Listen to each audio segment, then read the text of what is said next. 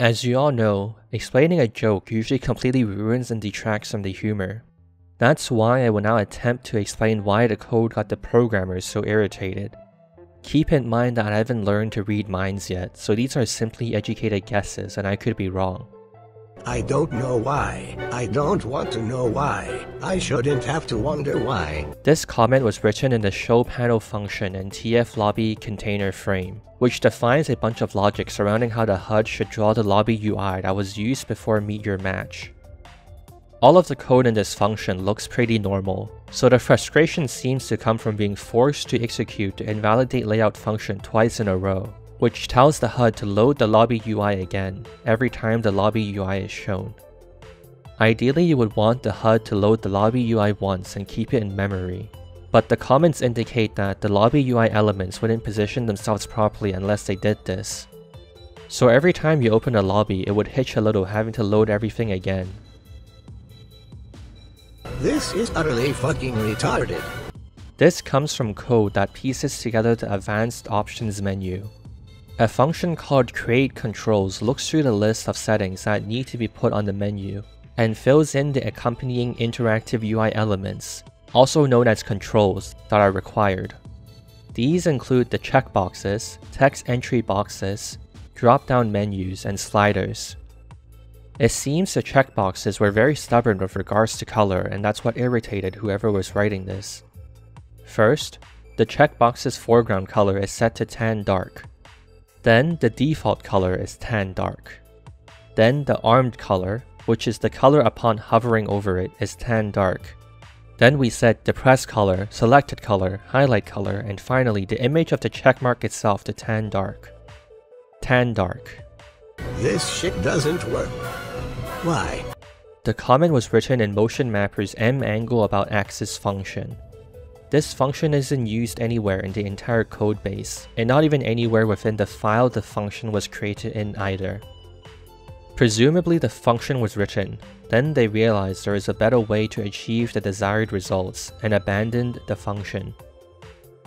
The Motion Mapper is a command line tool included with the Source SDK to copy animations from one 3D model and translate it to another such as translating animations made for male models into a set of animations for female models. This is catastrophically bad. This is commented in the cleanup possibly unreferenced textures function in the code for the texture manager. In order to minimize the memory usage of our program, we need to unload things when we're done using them.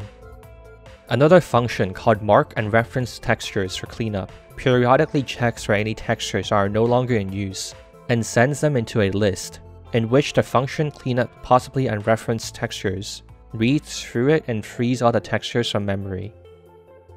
Of course, if we're still actively rendering things, it would be a bad time to try and start unloading textures. So the start of the cleanup function checks if the current material system render thread is 0xFFFFFFF this number is presumably used as an indicator of an inactive thread because as an unsigned 32-bit integer, it represents the number 42949672295. And if you manage to create that many threads, textures being unloaded while in use is the least of your concerns. The catastrophic part of this seems to be about how an unused texture cleanup is being requested while we're still actively rendering things. Yes, this causes a memory leak.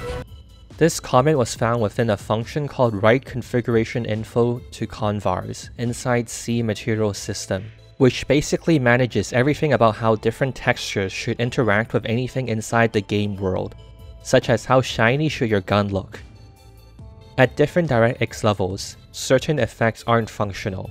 For example, TF2's motion blur doesn't work in DX8, only DX9 and above.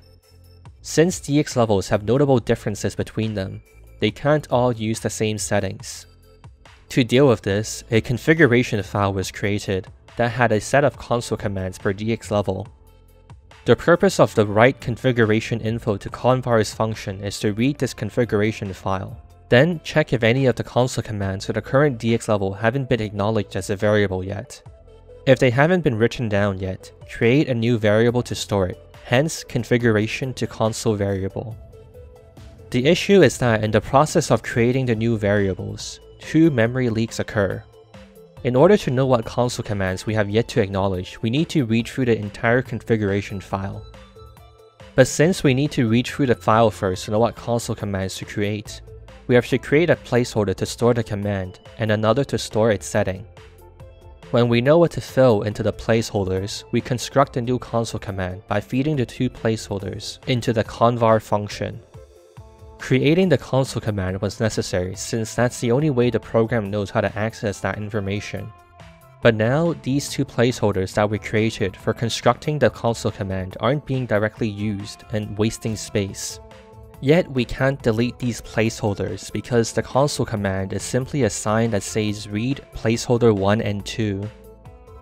You could say that we can avoid creating the two variables by instead creating a method to reference a line in the configuration file for the console command.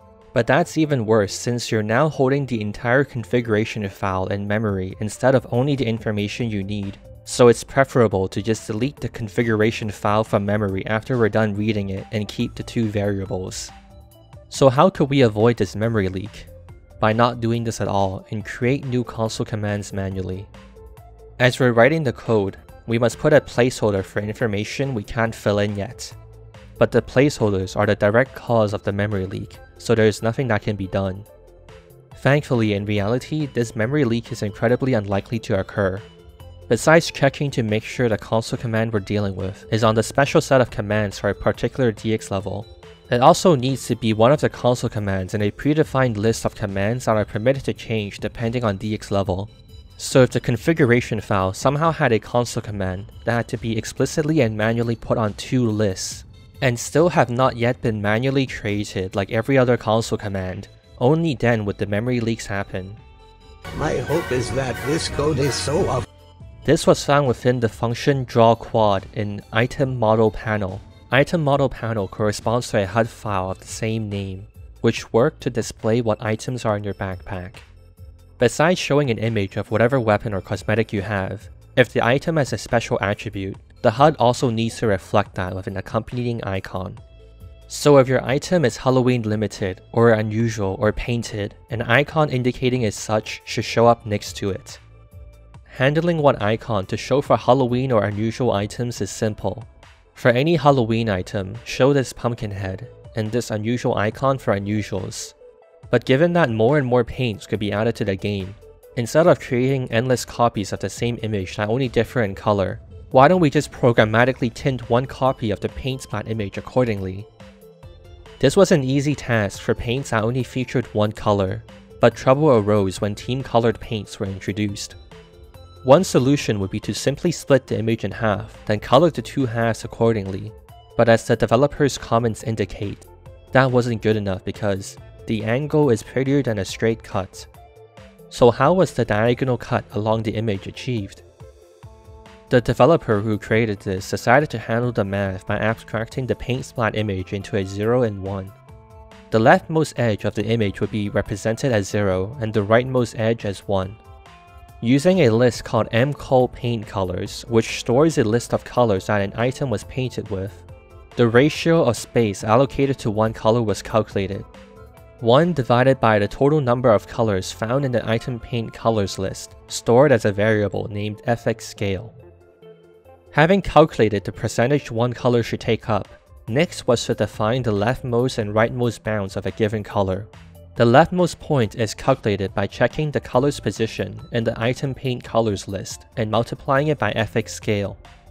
The rightmost point does the same, except it also adds 1 before multiplying with fx scale. These two are then stored as fx offset L and offset R. If our list has two colors, the first color would have a list position of 0, so the leftmost position would be 0 and the rightmost position 0.5. Our second color would be list position 1, so everything shifts over with a leftmost position of 0.5 and a rightmost position of 1, creating the split colors we wanted. In combination with one more variable called fx upper lower offset, which is fx scale multiplied by 0.65, the four points of the shape could now be defined. The upper left and right points are defined as offset L or R plus the upper lower offset, and the bottom left and right points is the same except it subtracts on the upper lower offset, creating the diagonal. To make the colors along the left and right edges form a straight line along the edge instead of forming a diagonal, if the colors we're dealing with is first in the item paint colors list, then the upper and bottom left points are just offset L without adding or subtracting upper lower offset. If it's the last in the list, simply set upper and bottom right points as offset R. Finally, our four points are then compiled into a list called verts.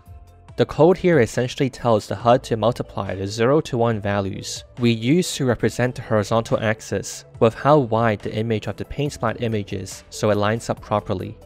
Then a height value which is 0 for the points along the top, or a variable that is the length of the image to set the points at the bottom.